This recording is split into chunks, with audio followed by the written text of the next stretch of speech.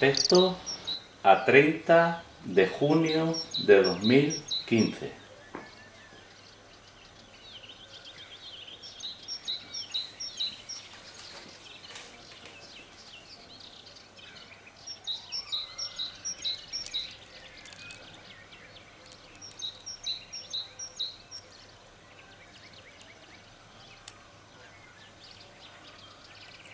Una falange es el largo de las agujas.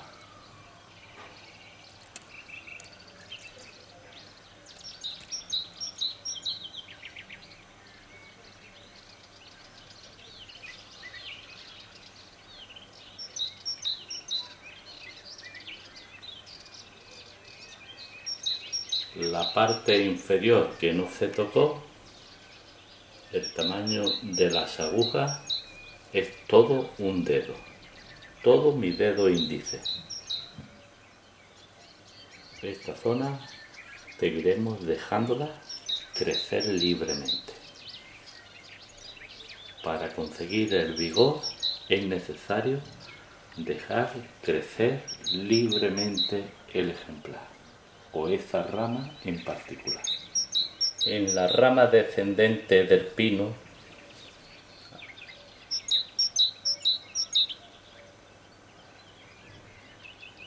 se ven como las agujas de tres años ya empiezan a ponerse marrones.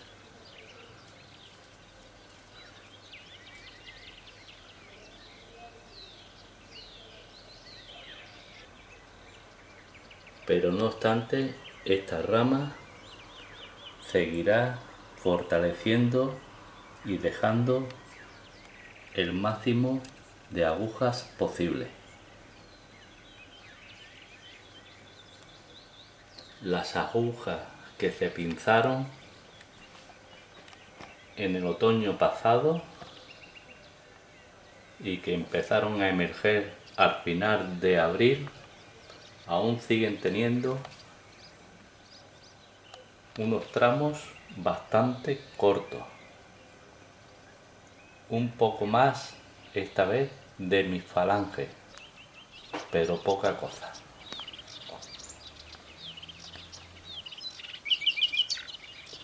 Tamaño de las yemas o velas de un pino que ha recibido técnicas de cultivo en el pintado de las velas. Otra yema, muy pequeña. Otra yema, pequeña, pequeña. Hoy nos encontramos a 31 de marzo de 2016 las yemas están a punto de abrir.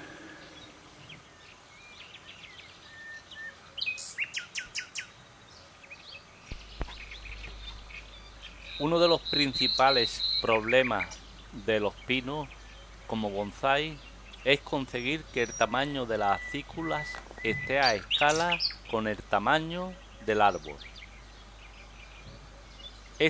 Obtener un método de pinzado y selección de brotes que aumente la densidad y ramificación en el árbol, con la consiguiente reducción del tamaño de sus agujas.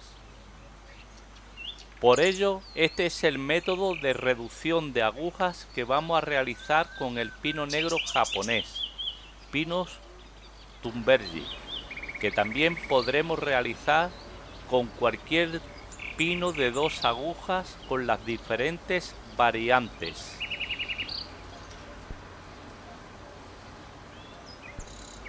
Cubrimos las ramas inferior y descendente con un paño blanco, ya que esta rama no la vamos a tocar, ya que necesitamos que coja mucho vigor.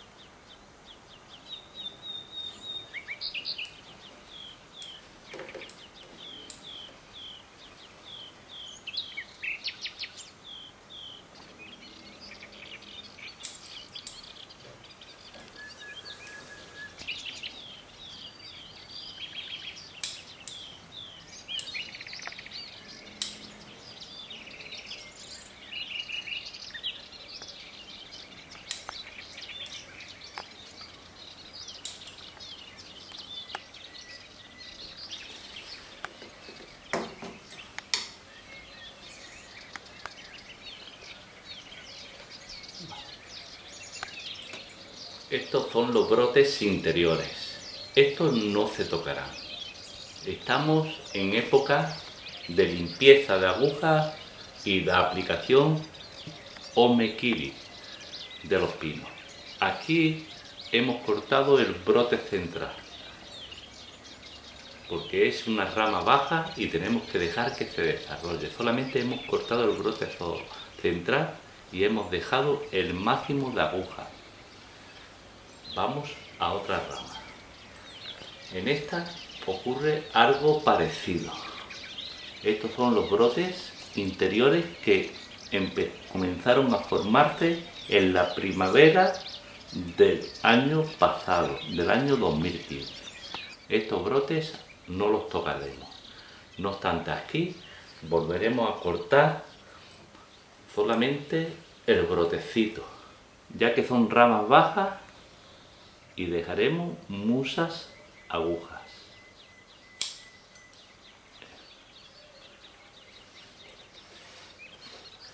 Y en este vemos el brotecito como se eleva. Lo único que tenemos que hacer es cortar el eje central.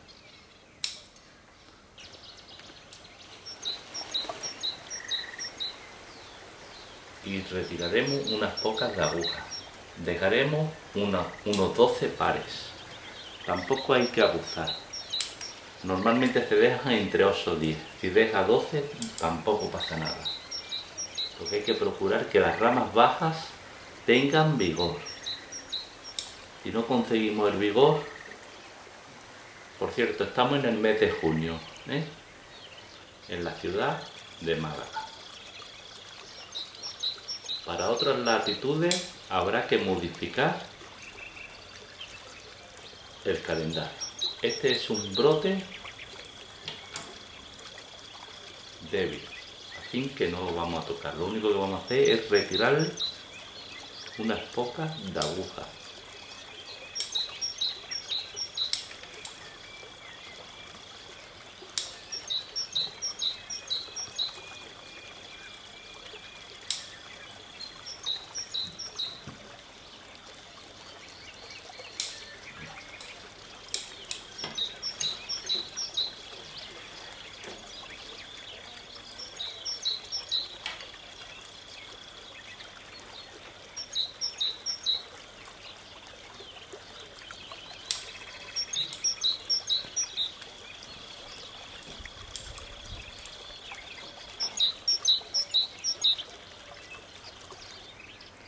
Observar el tamaño de las agujas, cómo se han reducido considerablemente. Estas son las agujas que han abierto de este año. Y sin embargo la vela al mismo tiempo ha sido una vela corta. Si aplicamos correctamente las técnicas del pino, todo funcionará perfectamente. El tema es realizarla todos los años. Entonces es peligroso para la salud del ejemplar.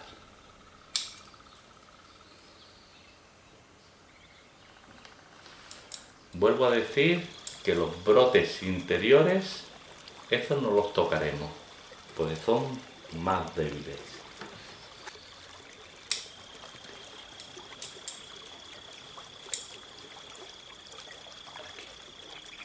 Solo vamos a eliminar, eliminar aquí el brotecito central, el crecimiento de este año.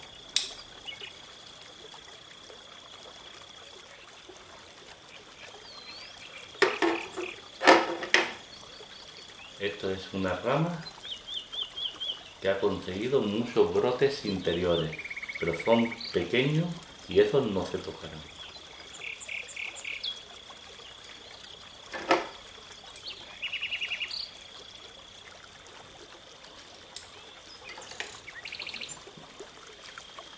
Voy a acercar un poco el zoom, a ver si se ve más en detalle.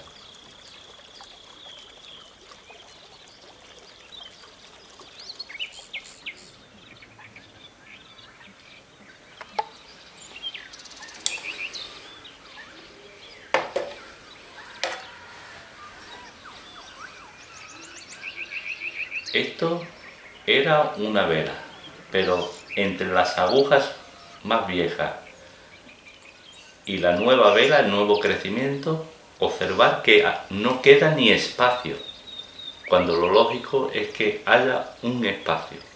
Quiere decir que es que el pino, además de fuerte, está aceptando las técnicas de reducción de agujas correctamente. Aquí solamente vamos, igual que anteriormente, vamos a quitar el brote central.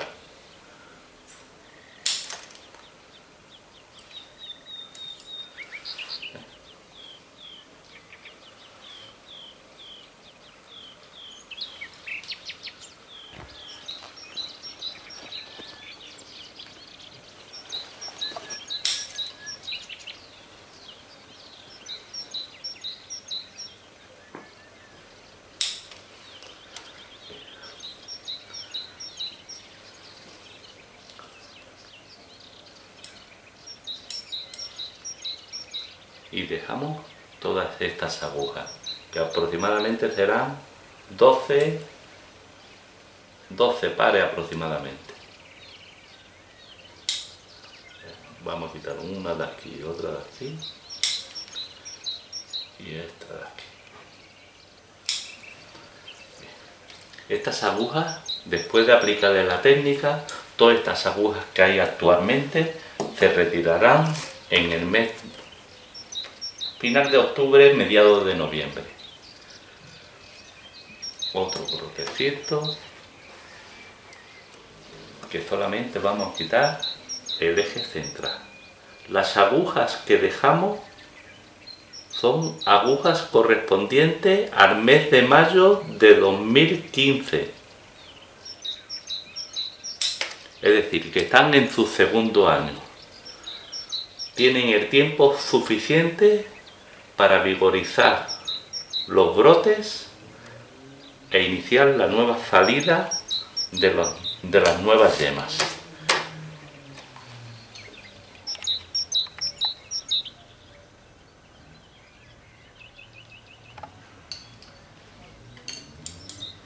Por cierto, este trapito que hemos puesto es que la rama baja descendente no la vamos a tocar. Necesitamos que se fortalezca mucho más. Es que si la tocamos, lo que haremos es debilitarla. Y si la debilitamos, el árbol pierde vigor. No es posible. No es posible hacer esas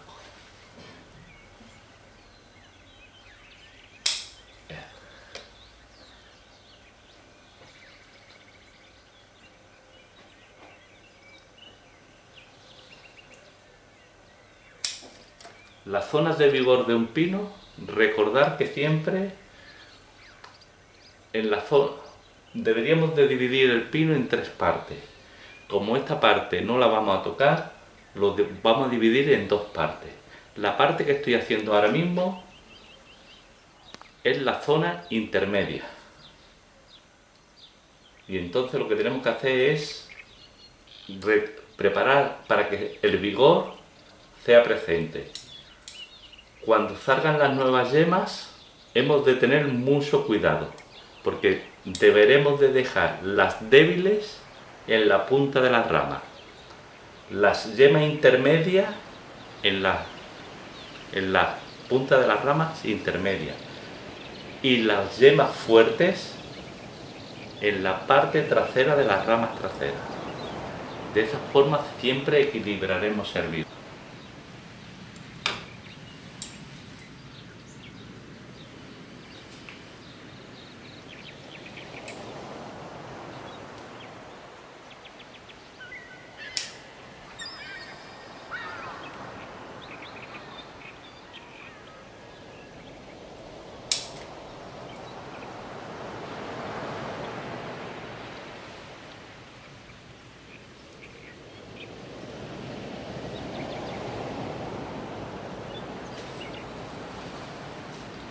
Los y traseros no lo tocaremos.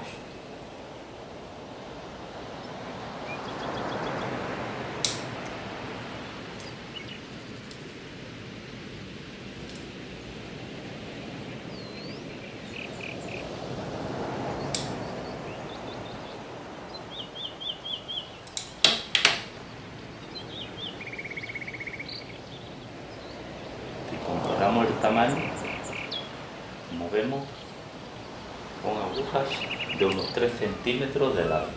Son cortas, pero son los brotes de este año. Aquí vamos a aclarar algunas agujas.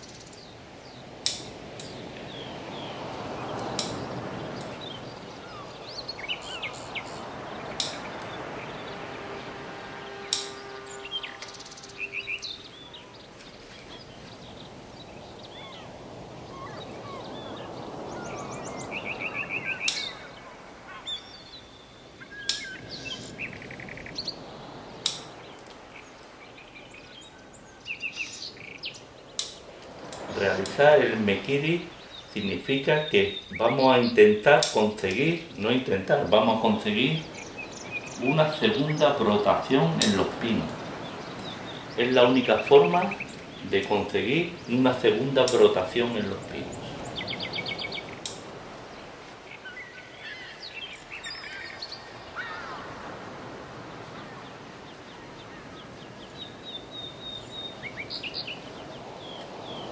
Bueno, toda la parte intermedia la hemos realizado.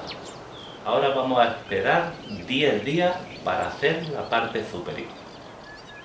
10 días que esto se va a vigorizar, pero esto se va a ir recuperando lentamente.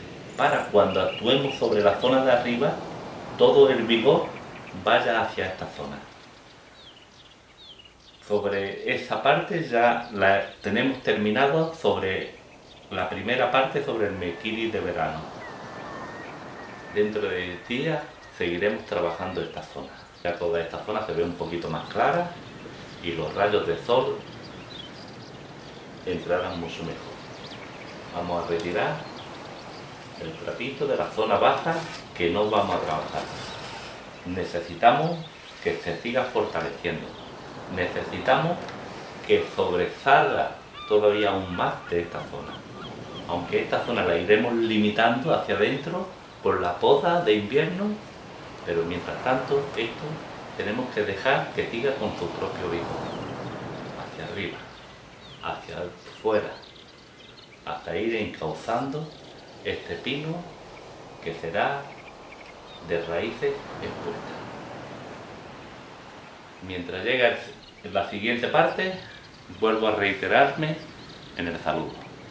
Buenas tardes.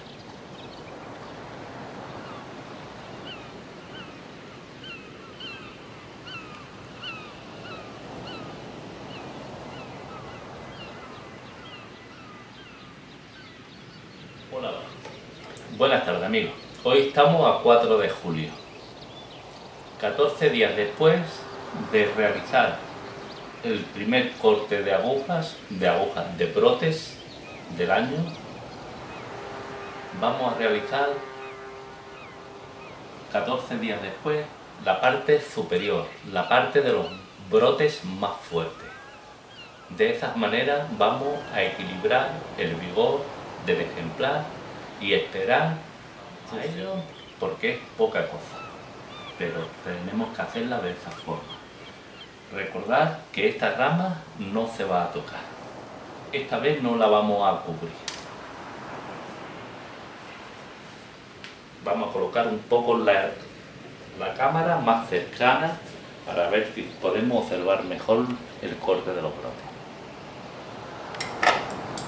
Vamos a iniciar ya los cortes. Y, y lo vamos a hacer sobre las velas que han abierto.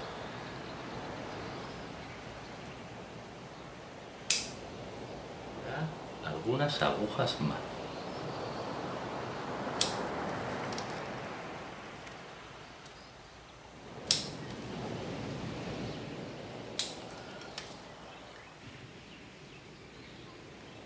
En esta parte superior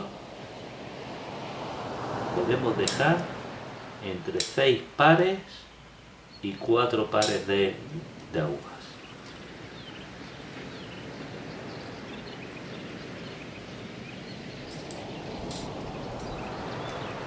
Que se está alargando un poco, pero como es débil, solamente vamos a retirar algunas agujas traseras.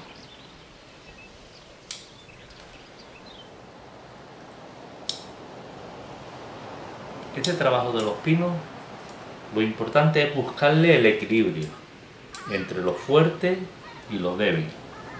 Recordar que primero se hace lo débil, las zonas más bajas, y después se hacen las zonas más fuertes, que son las altas.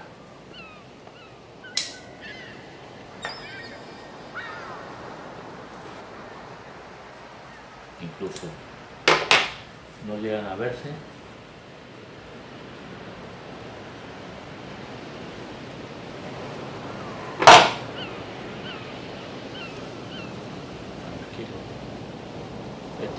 podemos tocar, que son, están en el interior y son débiles.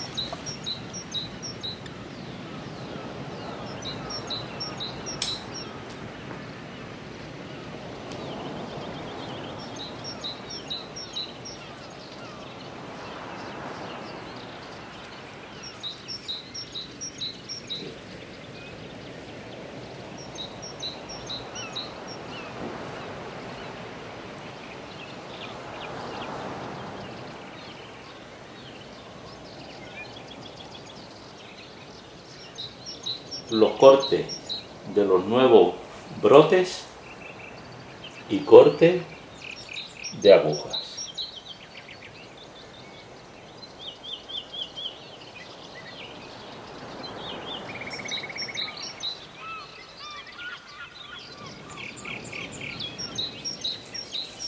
La zona que no hemos tocado, la rama baja y en la otra zona si comparamos con las primeras imágenes, se ve que el árbol está menos dentro, está aclarado. Ahora esperar un mes a que las nuevas yemas se vayan formando. Durante ese tiempo iremos tomando imágenes periódicamente. Y solamente nos queda presentar los resultados sobre el mes de septiembre, octubre o noviembre.